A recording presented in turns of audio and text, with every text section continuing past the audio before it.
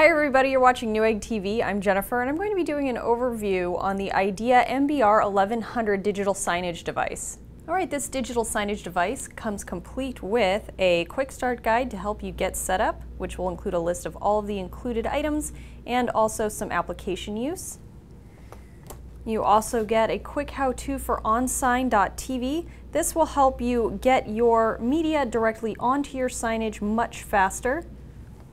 We have a few mounting screws and also a VESA mounting plate that includes a little bit of adjustment here and here in case you don't have a direct VESA compatible uh, monitor.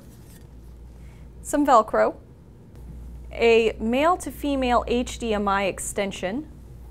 You also get an adjustable external 5 dB antenna for the Wi-Fi adapter that's 802.11b, G, and N. You get a micro USB to USB connector, and the unit itself, which we will go into detail in just a moment.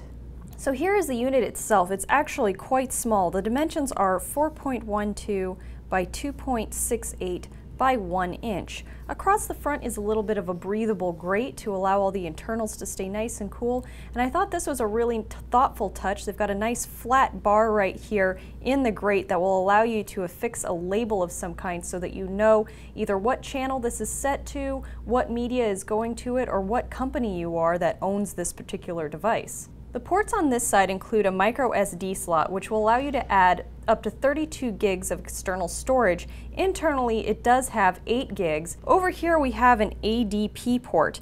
Now, this is specifically for decoding Android, or it's called the, uh, rather, Android Debug Bridge, and it's a service that is used for debugging Android code.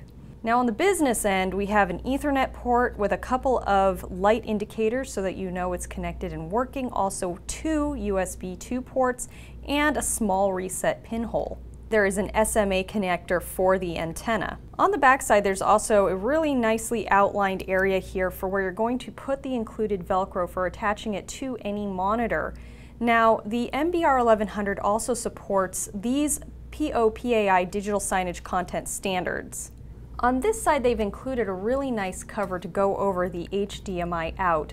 Now the HDMI is 1.4 and also that's going to give you full 1080p HD resolution whether you're connected uh, wirelessly or over Ethernet. Thank you for joining me for this overview of the IAdea MBR 1100 digital signage device. If you liked this video or found it helpful, please like it and subscribe to our various YouTube channels. Until next time, I'm Jennifer and thank you for watching Newegg TV.